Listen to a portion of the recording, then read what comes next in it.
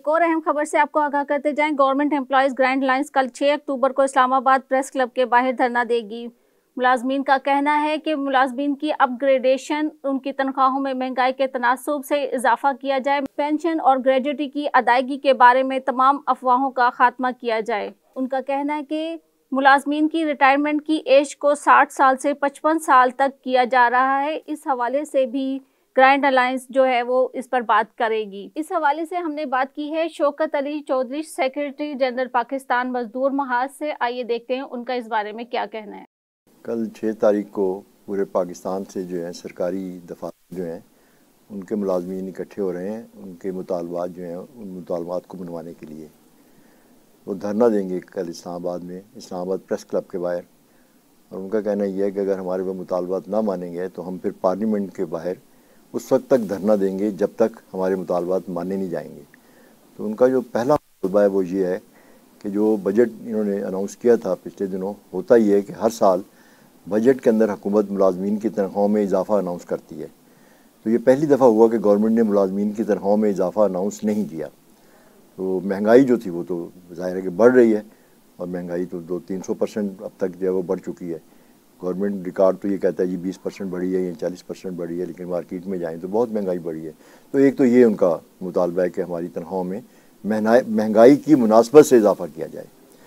दूसरे एक सरकारी मुलाजमीन का दरीना मुतालबा है कि हमारी जो अपग्रेडेशन है, उसका एक मेकनिज़म बनाया जाए कि ऑटोमेटिकली हमारी प्रमोशन होती रहें। कि मतलब एक मुलाजम है, वो ग्रुप एक में मुलाजम होता है और वो सारी ज़िंदगी ग्रुप एक में गुजार देता है। तो हालाँकि कानूनन उसकी प्रमोशन कुछ अरसे के बाद होनी चाहिए। आप एक टाइम पीरियड तय कर दें। बहुत से अदारों में दस साल का पीरियड उन्होंने रखा है, जिसे कैरियर प्लानिंग कहते हैं। वो ऑटोमेटिकली दस साल के बाद वो प्रमोशन अगले ग्रेड में उनकी हो जाती है।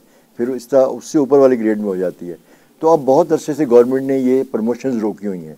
तो वो अपग्रेडेशन का उनका ये मामला है। फिर एक अफवाह उड़ी हुई है। वो अफवाह खुद गवर्नमेंट ने खुद ही उड़ाई है। गवर्नमेंट के मुख्त वज़रा जो हैं, वो ये बयान देते रहते हैं कि आने वाले दिनों में एक कमेटी उन्होंने फॉर्म की है इशरत हुसैन, जो सबक गवर्नर थे स्टेट बैंक के, उनकी सरकारी में, वो कमेटी इस पर काम कर रही है कि मुलाजमीन की जो रिटायरमेंट की उम्र है, उसको साठ साल से कम करके पचपन साल कर दिया जाए।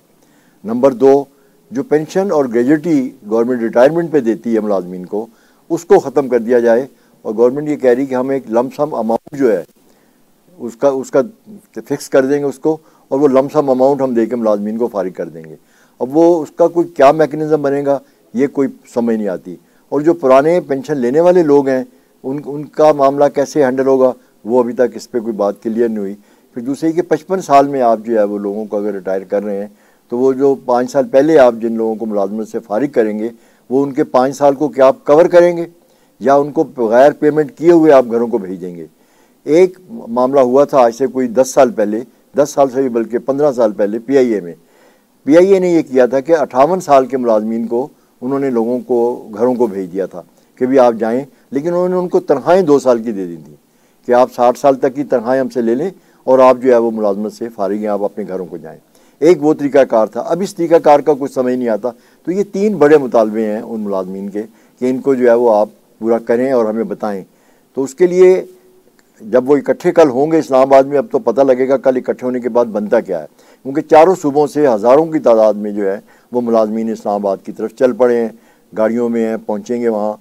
अब वो गवर्नमेंट इस पर उनसे मुजाकर करती है या नहीं करती अभी तक गवर्नमेंट ने उनसे कोई मुजाकर नहीं किए और कोई कमेटी ऐसी फॉर्म नहीं की कि जो उनसे मुजाकर करे। हाँ ये भी एक बहुत गलत बात है कि हुकूमतें जो हैं, जब कोई इशू क्रिएट होते हैं, जिसमें ज़्यादा लोग इन्वॉल्व होते हैं, वो मज़दूर हों, वो ट्रेडर्स हों, वो इंडस्ट्रियलिस्ट हों, वो किसी भी शोबा ज़िंदगी के लोग हों तो जब वो अपनी डिमांड उठाते हैं और वो डिमांड मुल्की सतह पे उठ जाती है तो हुकूमत को उस पर कमेटीज़ बनानी चाहिए, जो कमेटीज़ उनसे बात करें। और ये माजी में होता रहा है ऐसे।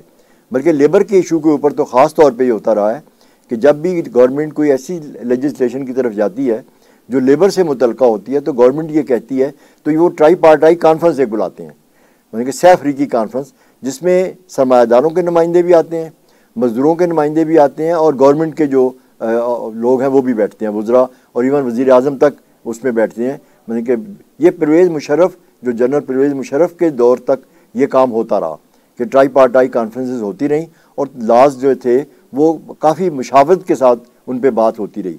इख्तलाफ राय भी उसमें होता है, सब कुछ होता है, लेकिन कुछ ना कुछ बेहतरी उसमें आ जाती है।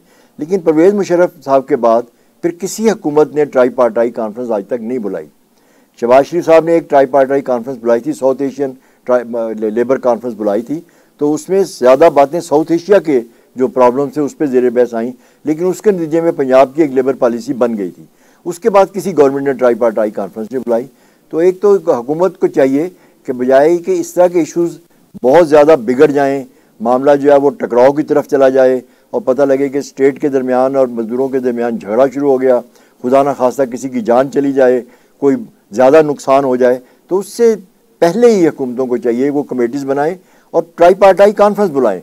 एक बड़ा कानूनी रास्ता है और बड़ा एक महजब रास्ता है। तो उसमें बातें टेबल पे बैठ के सारी हो जाती हैं और बड़ी आसानी के साथ सॉल्व भी हो जाती हैं वो बातें। तो लेकिन अभी तक गवर्नमेंट ने ये नहीं किया। तो कल ये छः तारीख को इकट्ठे हो रहे हैं इस्लामाबाद में। अब उसके क्या रिजल्ट्स निकलेंगे? क्या होगा? हमारी दुआ तो ये है कि अल्लाह खैर आखिर से सारे मामला जो है वो सेटल हो जाएँ। चीज़ें जो है वो पुरमन तरीके से जो है वो अपने मंतकी अंजाम की तरफ़ बढ़ें।